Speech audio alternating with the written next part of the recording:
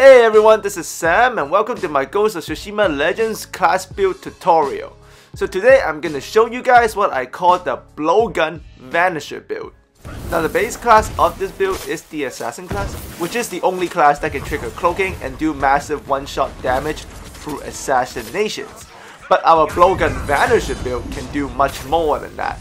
Not only are you gonna get your usual high damaging kills on available targets, you will also have a gear setup where you'll make yourself and your team better at assassinations, where you're going to be protecting your teammates, making them better killers, and at the same time as you kill, you have high regen for all of your gears and ghost weapons.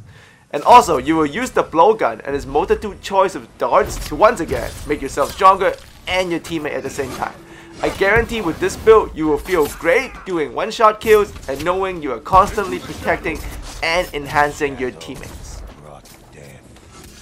So if you enjoyed today's tutorial, make sure to subscribe for more Ghost of Tsushima tutorials all year long. Also, you can click on the card above or the link in the description below to see my All Ghost of Tsushima tutorials playlist so you can catch up on previous builds and also see future even stronger ones.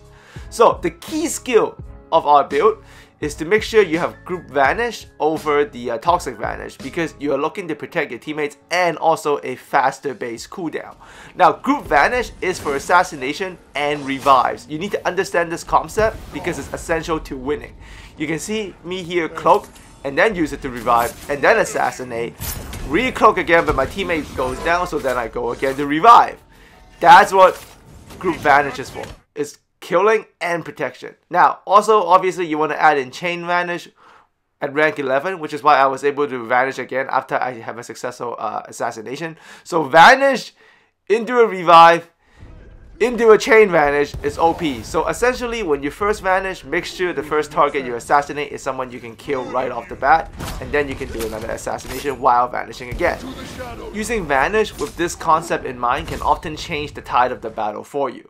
Now, the next thing you're gonna need is the blowgun as your range weapon. You don't necessarily need a legendary one, but what you do need is one that comes with hallucinations darts and make sure you get the status effect duration and also stealth bonus damage if you can. With that in hand, now you have three selections of darts. You have the poison dart, the hallucination dart, and also the uh, weakening dart. And using these three darts with the right scenarios will optimize your assassin play. So poison is the one that eats away the stagger bar. So you want to do that kind of like what I'm doing. Far away, make sure you poison your target so it becomes staggered. So th this will also give you 50% plus assassination damage. And you can see here against uh, tethered enemies, I'm going to use the poison dart on both, set up my teammate for success so we can just finish both off as quickly as possible. Uh, also, you can use the weakening darts to optimize the situation as you saw earlier. So before I assassinate my target, once again, I weaken the uh, counter opposite, go assassinate myself, and also let my teammate assassinate with, you know, damage buffs. And hallucination darts are probably the best of all because it's good for offense, defense, and it buys time. So here you can see I see the bear and I'm gonna shoot the hallucination dart at him. So he's just gonna go off ignoring me and then causing huge havoc against the rest of the enemies. And then I can go revive my fallen teammate. Obviously I'm gonna cloak first, revive him, and then I'm gonna go back into my assassinations, right back in the fight with the bear alongside us. So the next important thing is the smoke bomb. And you get a mixture you get one that comes with cooldown reduction cooldown reduction on kill and sudden resolve. If you do that you can see me here do the smoke bomb and then go into my assassination or super assassinate if I need to and I can keep doing it because the smoke bomb keeps me cloak and stealth for an extra long time which also help my teammates. And because of the sudden resolve perk, my smoke bombs also have great synergy with my ultimates. So you can see me here do the ultimate against a large crowd and obviously it takes a free resolve so I'm completely out. So I go back into my smoke bomb which allows me to assassinate and gain one resolve back. Now I could have super assassinate here but I don't want to waste the resolve that I just gained back, so I do a critical strike and finish off the enemy on my own. But that's great synergy. So you can see on the next ghost weapon you need, make sure you get the dirt throw that comes with uh, Rancid, so you can apply weaken on hit and a cooldown reduction. And also, once again, make sure you can get a cooldown reduction on kill if possible. You can do a modification and you just reroll until you get it. And you can see me here do the dirt throw, weaken my enemies, which makes me an effective melee character. And at the same time, because they're weakened, I can also assassinate them off the bat instead of just doing critical strike. So that's huge. And Dirt Throw has a very fast cooldown too. So that's big. So when everything is put together, you really become a one-shot killing elite support character. That's what you gotta understand. Like the assassin class, especially this blowgun vanisher, you gotta play with good pacing. You can't just rush in there and you need to constantly maximize and optimize the situation you're in with your skill set, weapons, and the timing of it. Because if you do it wrong, the assassin class won't be doing as much damage as possible and because it can do so much damage it's a big big big difference. So the rest of the gear you need make sure you get a katana that comes with both the uh, water stance and the wind stance which is to allow you to stagger and the wind stance is to protect you very well versus spearman you literally can't get hit. For the charm, you want to get one that comes with the combat regeneration perk and also ability cooldown reduction. Ultimate damage is good too, but ideally you want to get the stealth charm so you can get cooldown reduction and ability cooldown reduction plus the combat generation. You do this, your ability comes back fast and also your ghost weapons. Uh, the rest of the perks you need, make sure you get Super Strike because you see that sometimes I do Super Assassination to make sure I do get the kill and it only costs one resolve so that's nothing for an assassin.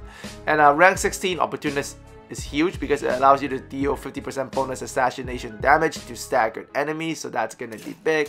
So, and because of our uh, insistence to chase or you know cooldown reduction on kills, which means every kill you do speeds up the ghost weapons regen. And since your entire approach to this build is to assassinate and to get kills as quickly as possible. That's great synergy with your ghost weapons. And that is why you want to get Dirt Throw, because Dirt Throw's cooldown is only 40 seconds, but because you're an assassin, so if you get cooldown reduction on kill with Dirt Throw, you're probably going to get it back, what, every 20 seconds because you're doing so much killing. So, but always remember, with you using the assassin, especially the broken Assassin Vanisher. Stay focused and remember to always optimize your assassinations. Like here, I made a mistake. I should have staggered my enemy first, so I gained that 50% bonus assassination damage.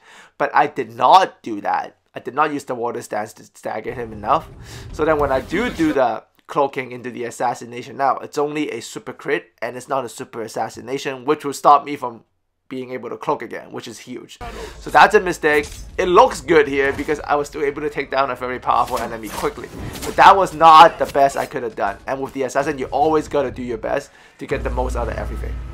And be always understanding and committed that hallucination dart at the right time can change everything. So I did the hallucination dart to the stronger spear enemy here.